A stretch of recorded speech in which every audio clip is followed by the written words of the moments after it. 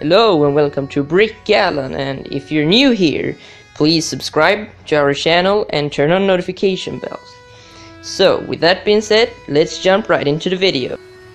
And as you already know, LEGO is going to release a brand new theme in the fall of 2019 and the winter of 2020, which is Game of Thrones, as you can see both on the title and here on the screen.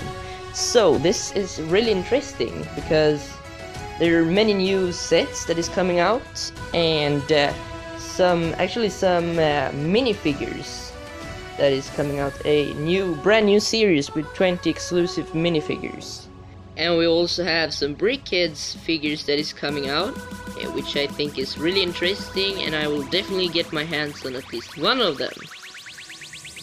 We don't really know the sets, so they are unknown yet, but we'll give you some more information later on. And the sets is going to release in 2020 as well as on the fall in 2020, uh, 2019 and uh, the minifigure series is also going to be released in 2019 as well. So, that's all for this time. Hope you guys enjoyed. See you next time at BrickAllan.